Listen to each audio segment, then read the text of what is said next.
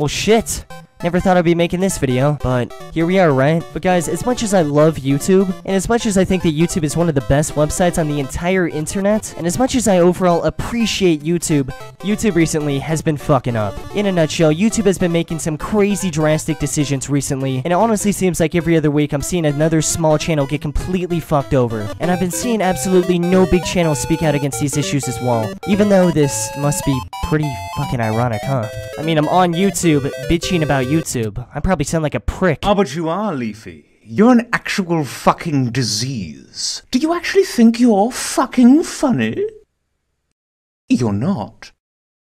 You're like the saddle of an earthworm, some small, broken piece of malignant flesh that has somehow managed to keep the cancer that is your entire personality together. You know when you finally spit out that small piece of chicken you've had stuck between your teeth for like the best part of a month? Well, that's the feeling I get every time I dislike one of your cancerous little videos.